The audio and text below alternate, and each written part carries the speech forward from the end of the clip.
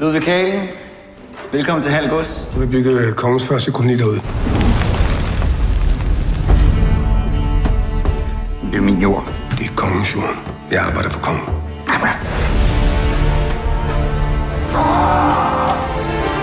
Livet er kaos.